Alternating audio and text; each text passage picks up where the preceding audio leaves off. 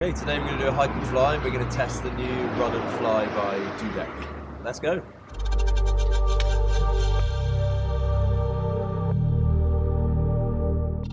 So we've got the Run and Fly 2 here. Now I had the original Run and Fly and it wasn't as suitable for beginners as other wings.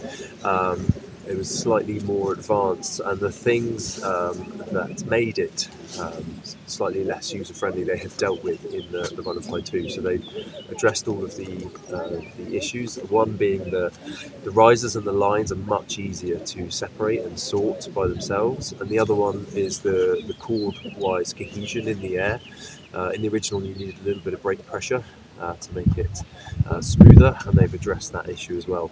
The launch characteristics are also much better uh, in the, the Run and Fly 2. So um, all round, it's a, a, a, really nice upgrade, um, and the, the cost of that is only around 30 to 50 grams or something like that. So they've managed to make a, a much more user-friendly wing, much better for beginners uh, at a very small weight uh, weight gain. So it's still around a kilo, so one of the lightest things on the market at the moment, and the packing volume is still really nice.